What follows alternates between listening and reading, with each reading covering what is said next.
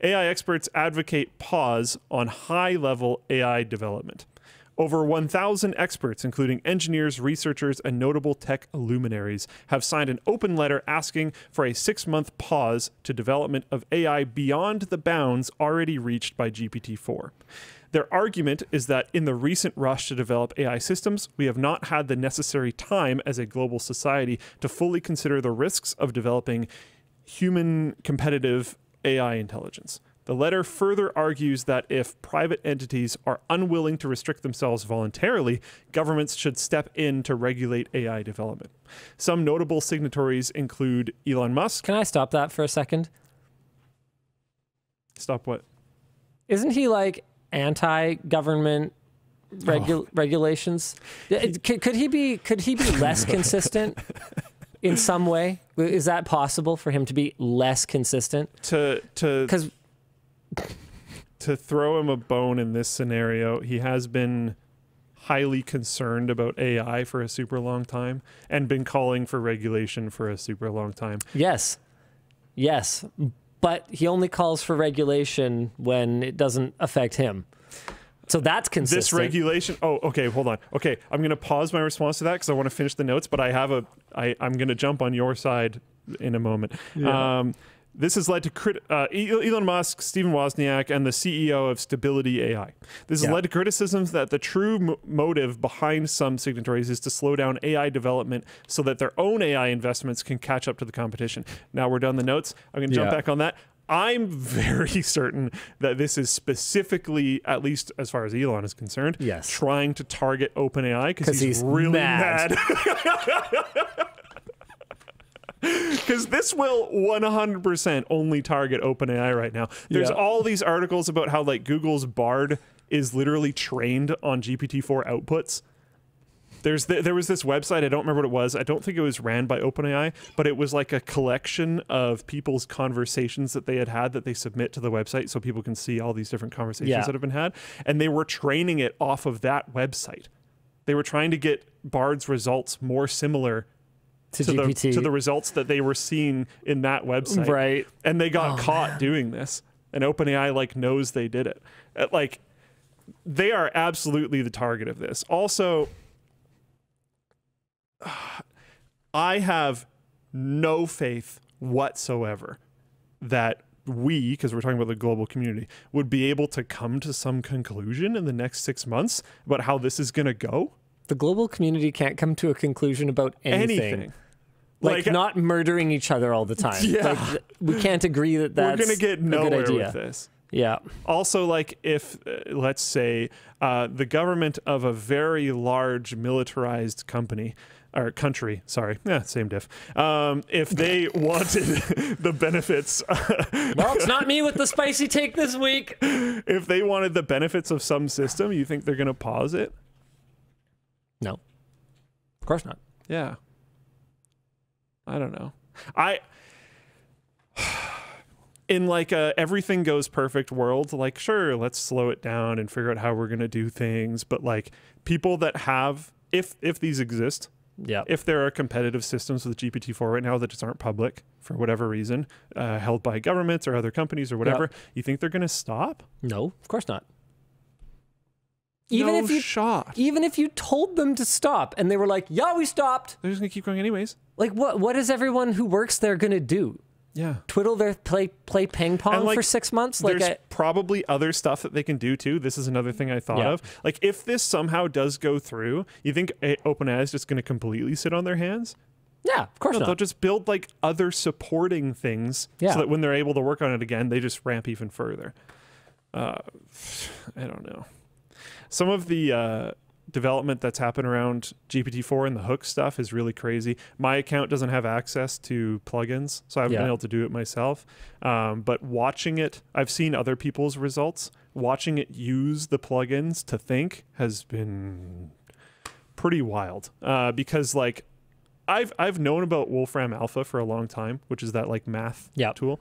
I didn't I haven't used it since I was in university. I didn't realize that its error output is written in like human language. Oh, that's cool. That helps GPT-4 a lot. Right.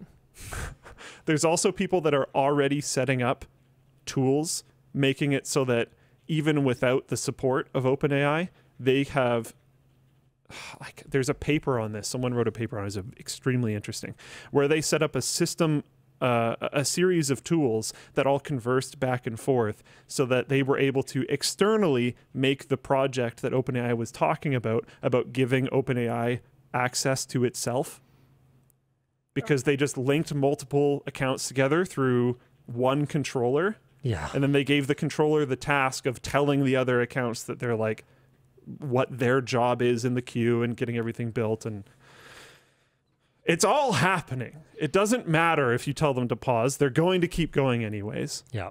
Um, and if it's not like if you put tons of watchdogs on OpenAI, I'm sure they'll find some way to work on something. OpenAI as a organization, as far as I can tell, which this could just be them trying to convince me and succeeding. I have no idea. As far as I can tell, they are somewhat concerned about the ethics of all this kind of stuff, but they're marching forward anyways. Mm-hmm. That's what people are going to do. Yep. We are actually going to destroy ourselves. Oh, Like, yeah, We all know that, right? Yeah. Like for sure. Yep. I was talking to you about a thing that I don't know if I want to uh, say yet because I don't want to like claim it until I'm more sure. But uh, another project that I thought that's been really cool is do you know about Llama? Yeah. Uh, so it's like locally ran. People have set up uh, like microphone arrays in their house. And some someone posted a project where they made it so that they use Siri voice whatever through a MacBook to write into a, a, a like Llama input so that mm-hmm. they could converse with it back and forth through voice. And I know someone else who's been setting up a microphone array in their house so that they have like a Jarvis. Like that project is happening now. Yeah. You're not going to stop this stuff. And especially when you get to the point where people can just ask ChatGPT to write whatever plugin or whatever hook they need. Because, because like the problem right now is that these voice assistants or AI assistants or whatever, they can't do anything. You have no reason to talk to them. But if any idiot with uh, vocal cords can just say, or, or, or, or hands, or any way of inputting text can just say, uh, oh, write a thing so that ChatGPT or Llama or whatever can uh, control my smart blinds. Here's the brand, find them on my network or whatever. It'll actually do stuff, Yeah. which is which is cool. Yeah. It's interesting. Yeah, good luck everybody. I don't want what what is your what is your thoughts on the pause? You Well, it's just, Just it's kind of- asinine. yeah. Like, good luck with that. yeah. Uh, it's it's like uh, How would they even how do you think they would even try to enforce something it's like, like it's I think it's like it's like a ceasefire in like a in a in a traditional war. Yeah, just because we're not firing rounds doesn't mean we're going to stop manufacturing them. Everyone's just going to super focus on logistics and troop movement and intelligence and all this other type of stuff, so that they're as ready as. But think about uh, uh, like peace in civilization. we were talking about Civ earlier Yeah. in the show. What happens when you declare peace in civilization? You both build up as much as you can because it ends in ten turns. Like it's Let's go. it's coming. I don't know. Uh, Atomic Age Ace, I think, has it nailed down. What we really need is an AI trained entirely off of Twitch chat. Sorry, I just that amused me. It was in the Floatplane chat. Oh, jeez. like that's a way that they could work on it without making it better necessarily. Is something that's been brought up is uh, that making an AI that is like uh, good in the sense of like good natured, bad natured, whatever, is basically impossible due to all the different cultures in the world. Because you're going to be like, my morals are good, but that's not necessarily going to line up with someone somewhere else.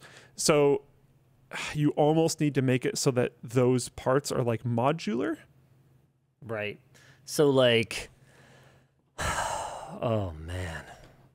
You know what? I am It gets not really messy really I fast. am not going to pick a polarizing issue to say like that could be a module Okay. that you would unplug or replug depending on the part of the world that the AI is operating in. or, or um, political affiliation or whatever. yeah, else. exactly. Yeah. But but like is that the right route to go? I don't know. I've seen I've seen some some people big mad about AIs spitting Oh, yeah. out like Oh, yeah. objectively factual stances on some very polarizing issues Oh, that yeah.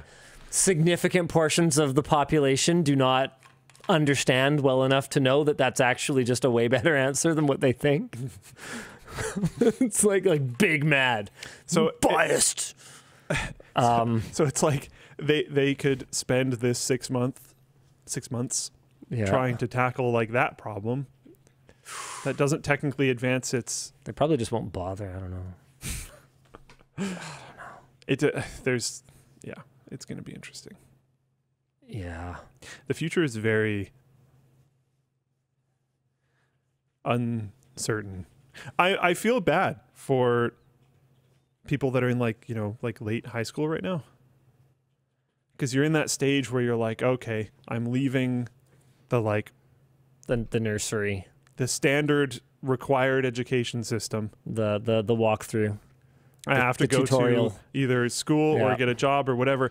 What career path do i put myself on when i have very low experience? Because a lot of the jobs that are most at risk are non-expert style positions but then Yeah. how do you get to an expert style position if you can't gain job work experience so like if everyone just replaces all the low level jobs how do you fill the positions of the high level So jobs So we become batteries.